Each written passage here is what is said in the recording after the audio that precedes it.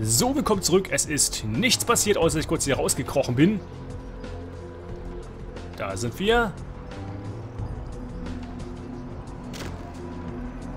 Und wir müssen zurück in den Club, dessen Namen ich schon nicht vergesse. Sie haben Boris getötet und äh, so Venus Schulden bei ihm storniert. Ja, ich weiß, dass sie Venus heißt, aber ich weiß nicht mehr genau, wie der Club heißt. Aber ich werde ihn auf jeden Fall erkennen. Und Venus wird sich sehr freuen und hoffentlich auch ein bisschen erkenntlich zeigen. Ähm, und ich meine nicht genau das, was ihr gerade denkt, zumindest die männlichen unter euch, sondern ähm, sie wird uns an den Umsätzen des Clubs beteiligen, die ich jetzt wieder fast verpasst hätte. Kurz gespeichert. Ach ja.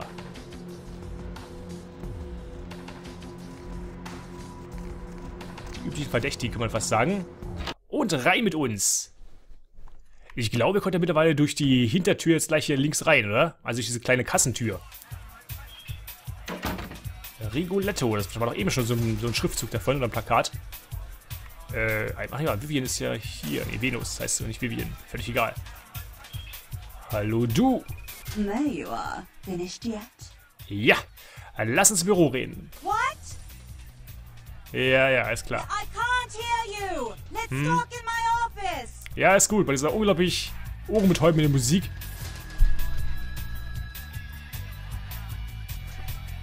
So. Boris, Tot. is that is blind?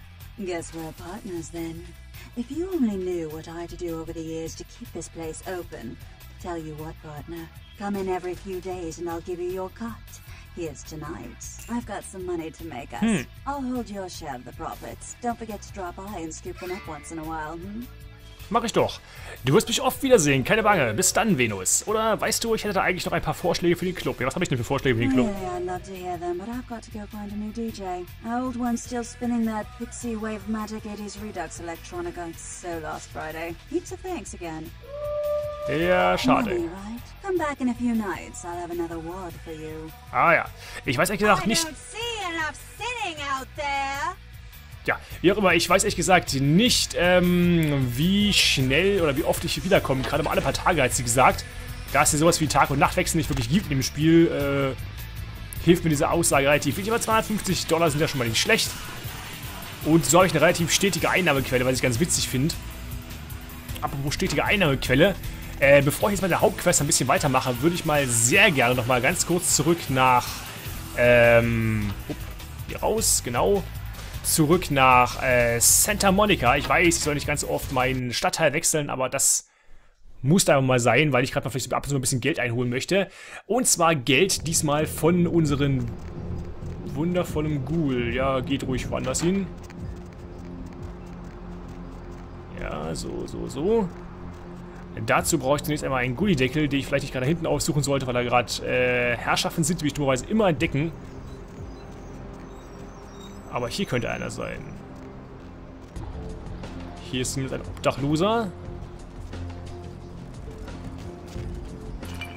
Guter Zusammenhang, er schließt sich auch nicht ganz. Hier ist offenbar nichts. Na gut, gut, dass ich hier drin bin. Ach, hier. Ja, alles beim Alten. Ach nee, komm. So, dann halt hier hin. Getarnt, getarnt. Wie kannst du mich sehen? So. Geh weg. Gut, hast du fein gemacht. Kann ich wieder we- weitergehen. Hab ein bisschen Blut verbraucht. Kann ich gerade nicht viel machen. Aber hier... Ah, da hinten ist noch ein Gullideckel, oder? Ja, da ist einer. Wie schön. Danke für, das, für die Munition. Und runter mit mir. So.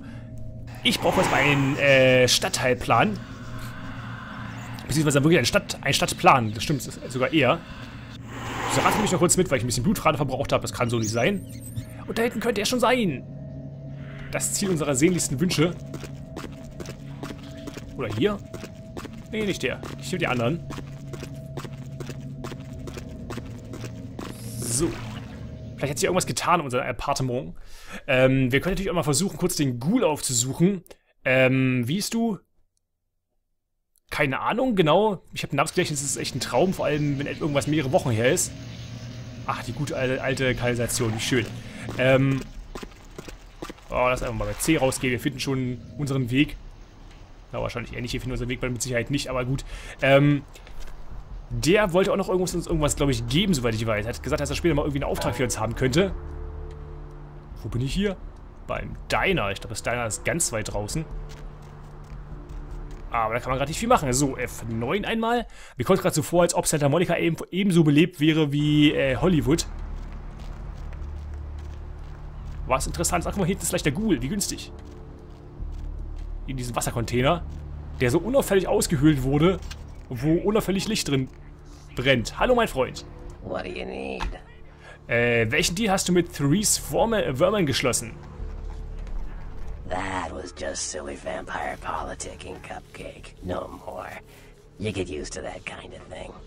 Okay. Das hört sich aber recht ernst an, nicht wahr? Ich glaube langsam, dass Therese sich lieber tot sehen wollte. Oder wusstest du, dass Jeanette und Therese eine dieselbe Person waren? Ja, jetzt eigentlich, wir sind, zwei von selben Schlacht, die kann ich eigentlich verraten. Uh, I had my suspicions. What an interesting specimen. But a pain in my dead ass for sure.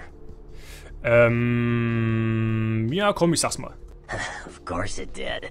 As if vampires and women both weren't insecure enough. Get them together in one Malkavian body. And look what happens. Erzähl mir von deinen, äh, erzähl mir von deinen Dramakönigen. And no kidding. Now that the Camarillas moved into L.A., Therese wants the title of Prince of Santa Monica. I guess she saw me as a threat. Funny thing is, I could care less. Okay, willst du die Position nicht? Das ist witzig, ich wollte dich noch wegen was fragen. Nee, willst du die I Position? wouldn't want to be the Prince of Terre Haute. I leave that headache to the Ventru. Besides, there's only like four vampires in all of Santa Monica. Some kingdom. Überhin. Ähm, na gut, ich wollte dich was, wegen was anderes fragen. What?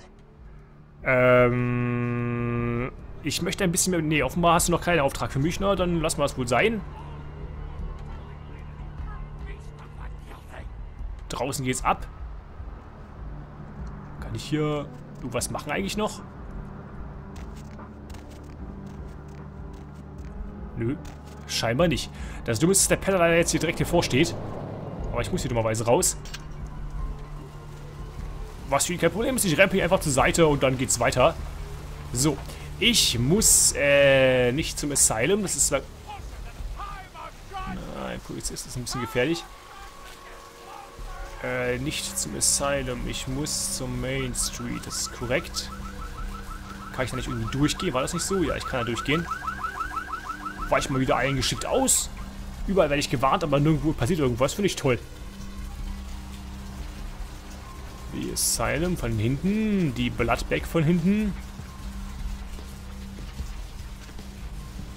Und hier müsste ich irgendwo reinkommen. Ah, Home Sweet Home. Wie schön. So, rein mit uns. Und unsere alte, schöne Bude. Vielleicht kann man sogar eine neue Mail, war auch nicht schlecht. Hallo Darling, wie geht's dir? Tür zu. Oh, you're back. I um I went out this evening and I well I met someone and he wouldn't leave me alone so I he came back here with me and well I thought you might want to you know want to drink his blood. Nein, nicht wirklich. Du hast was getan? Wo ist der? Ah, ich liebe es, dass ich nach Hause komme und das Essen schon auf mich wartet. Ich danke dir, mein Schmusetier. Nein, gerade noch rechtzeitig. Ich bin am Verdursten. Du scheinst es schließlich doch noch nützlich zu machen. Nein, ehrlich gesagt, finde ich es gar nicht gut, wenn es irgendwelche wildfremden Leute in unser, in unsere wunderschöne Bude zerrt. Deswegen, du hast was getan? Wo ist der? Um in the bathroom. I uh, I locked I locked him in. Did I mess up? Äh, darum kümmere ich mich. Du bleibst hier. Weiß ich noch nicht. Mal sehen, was ich tun kann. Oder, hm, vielleicht über, überreagiere ich. Vielleicht kann ich es ja genießen. Ich sag mal, ich weiß es noch nicht. Du kriegst gerade einen Kasper. Hallo?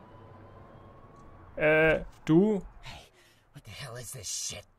Let me out, goddammit! I'll kill that crazy bitch! Komm runter, das war ein Missverständnis. Misunderstanding! As soon as I get out of here, I'm calling the goddamn cops. Let's see what they think of this, huh? I'll have them lock up both your asses. Wenn ich mit dir fertig bin, weiß nicht mal mehr, welches Jahr es gerade ist. Ich glaube, ich brauche einen Drink. Ja, das wäre jetzt gut, genau. What the hell does that mean? Wait, why are you looking at me like that? Hey, Komm her, ich will dir ein Geheimnis verraten. Ah, so, so bezirzichtig. Und obwohl ich gar kein Blut brauche, eben hat es noch halbes Blut, interessant.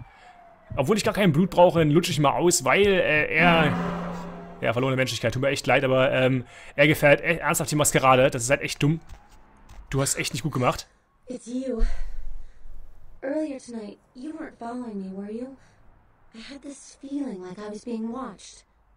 Maybe it's nothing, but I'm still a little shook up. Hm, ich war's nicht. Es könnte einer der vielen Leute sein, die mich noch toter sehen wollen. Oder wenn jemand sich dir nähert und du ihn nicht kennst, erschieß ihn direkt in den Kopf. Oder dein Leben könnte Gefahr sein, Heather. Also muss ich dich bitten, meinen Dienst zu verlassen. Ja, so weit will ich noch nicht gehen, aber ich sag mal, schießen direkt in den Kopf ist vielleicht ganz gut. If they're after you, yes, I'll do it. Ah, das muss ich auch. Leider kann ich das selber nicht beibringen, weil ich es überhaupt nicht kann. Tu das. I will. Okay, gut. Und jetzt komm her. Ich brauche dein Blut. Nein, ich brauche nicht noch mehr Blut. Ich brauche das Blut von den Typen eben schon nicht. Ich verliere noch mehr Menschlichkeit. Lass mal. Achso, was dein Outfit betrifft. Du, das änderst du besser. Man kann dein Outfit ändern? Ja, stimmt, man kann dein Outfit ändern. Das wäre lustig. Stimmt. Äh, führe sie bloß nicht hierher. Das ist tatsächlich richtig. Mach's gut, Heather. Nein, erstmal, was dein Outfit betrifft. Okay.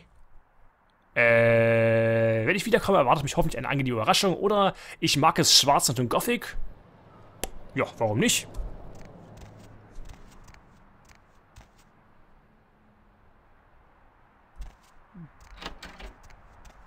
Ich gehe kurz mal raus. Ich will sehen, wie schnell es geht. Schade. Vielleicht muss ich kurz den Bereich neu laden. Das wäre witzig. Ich will jetzt mal gucken, ob es funktioniert. Dauert nicht lange. Ich finde es echt schade, dass jetzt gerade irgendeine Dame, äh, irgendeinen Typen hergebracht hat. Das war natürlich ein bisschen dumm. Aber damit muss ich leider rechnen, weil äh, sie ist halt ein Ghoul und hat damit äh, nicht mehr so eine große Kompetenz, was irgendwie weitsichtige Entscheidungen angeht. Und sie ahnt ja nicht, dass wir die Maskerade noch ein bisschen aufrechterhalten müssen. Wir hätten sie vielleicht doch lieber gehen lassen sollen. So, bist du umgezogen, Heather? Oh, du bist umgezogen. Master? Okay, das ist... Äh, sein Körper muss irgendwo verschwinden, wo er nicht auffällt. Klar, das ist erstmal richtig. Übrigens, äh, gut, dann bis dann, Heather. Übrigens. Hallo? Der Körper ist eh schon weg, wie günstig. Master? Ähm, dein Outfit Okay. ist nicht so, hm. Äh, angenehme Überraschung. Ja, mal gucken. Da war das erste Outfit fast noch besser. Ich meine, das Outfit an sich war gar nicht schlecht, aber die, die, die, die Haare und das Make-up war so ein bisschen, naja. Gewöhnungsbedürftig, sage ich mal. Aber gut, ich will es nicht länger hinauszögern. Ich begebe mich mal weiter auf den Faden der Hauptmission. Wir versuchen immer noch die äh, unheimlichen Deathmask oder die mysteriösen Deathmask Productions aufzuklären, die sich irgendwo in Hollywood herumtreiben. Und dazu müssen wir einen Telefonanruf machen. An ein Telefon, an dem ich schon vorbeigelaufen bin. Mehrmals wahrscheinlich. Nicht doof. Mehrmals wahrscheinlich, aber das äh, nicht als solches registriert habe, weil ich immer noch die anderen beiden Telefone geachtet habe. Dumm gelaufen, wirklich dumm gelaufen, aber passiert. Wir müssen erstmal zurück nach Hollywood.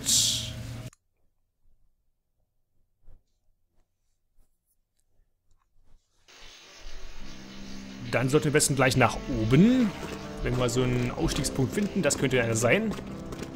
Ausstiegspunkt. Ah, auch gleich ganz am Anfang, wie schön.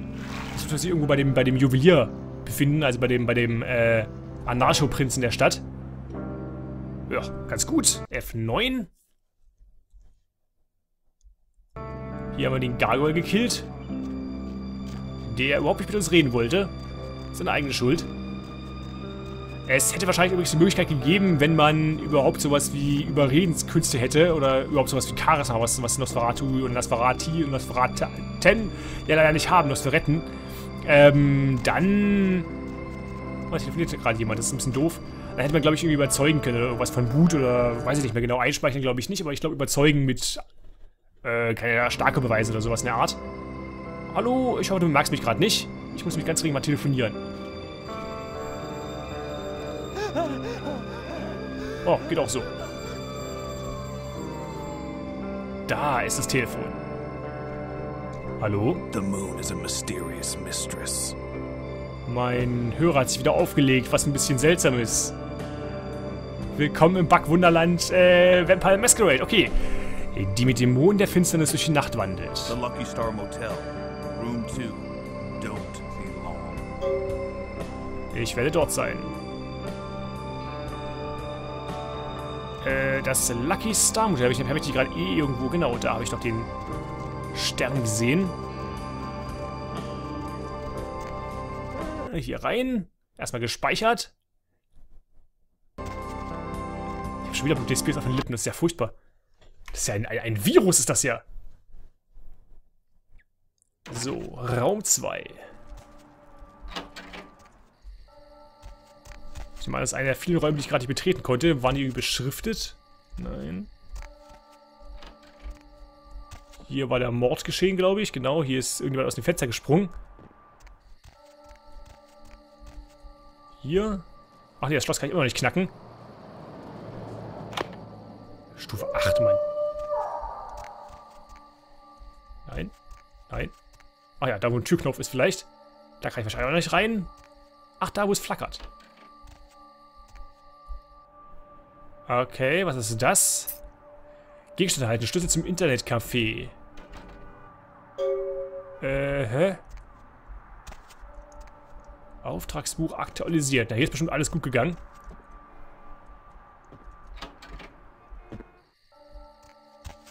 Das... Nee, hier kann ich noch nicht rein. Schlüssel zum Internetcafé. Na gut. Wie viel brauche ich eigentlich nochmal hier zum Schlösser knacken? Ich brauche schon 8 eben und 7 bei Boris. Und hier brauche ich wieder 8. Meine Güte. Ich muss echt noch ein bisschen mit den Punkten mich ranhalten. So, Internetcafé. Das ist natürlich ein wunderbarer Punkt, um irgendwelche umtriebigen Dinge zu tun. Ja, tun wir auch schon wieder was gerade. Es ist furchtbar. Ich darf echt nicht ins Lucky Star Motel gehen. Äh, wie viel habe ich mittlerweile noch? Ja, vier. Achso, ich habe wieder Maskeraden-Bonus bekommen irgendwie. Das ist echt ärgerlich. Tut mir leid. Ich wüsste auch, wenn ich das nochmal machen würde. Round Zero, wie günstig. Äh, wenn ich es nochmal laden würde, würde es wahrscheinlich wieder passieren. Wie, wie letztes Mal auch schon. Und das letzte Mal davor auch schon. Also da sammelt sich komischerweise immer eine Traube von Menschen davor, was echt unangenehm ist für Nosferatu. Aber gut. Wir haben einen Schlüssel bekommen. Ich hoffe mal, der bringt uns jetzt mal irgendwas. Hier sind immer noch irgendwelche Leute. Mysteriöse Musik.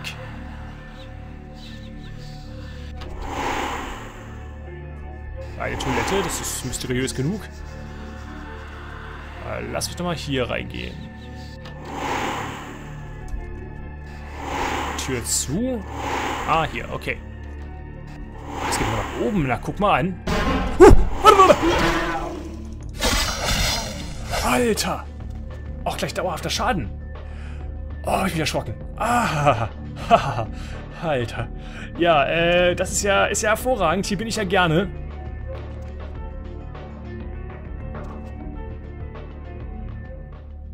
Da sind irgendwelche Leute, die schon verängstigt sind. Ich nehme alles nicht wegen Bier.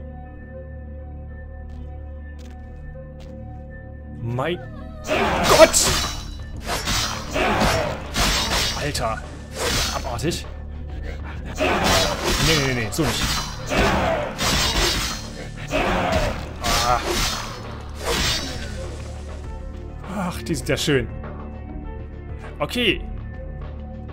Ein wundervolles Studio. Für diversen Heimspaß, sag ich mal. Und andere Dinge.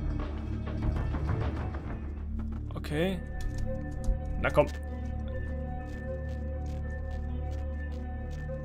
Ich finde es gerade ein bisschen irritierend, dass immer wieder irgendwelche Markierungen hier auftauchen auf dem Boden, die vorher nicht da waren, aber gut.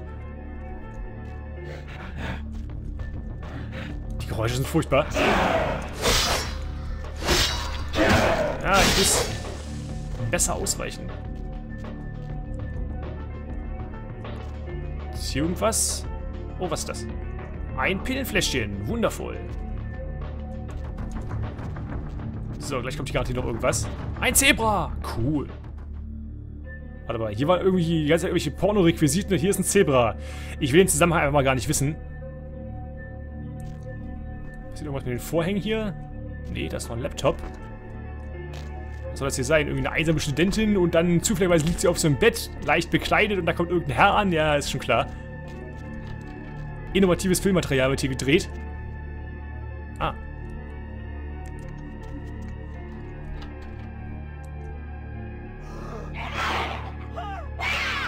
Ja, schön hier. Da muss ich ja unbedingt rein. Aber das mache ich erst in der nächsten Folge. Bis gleich.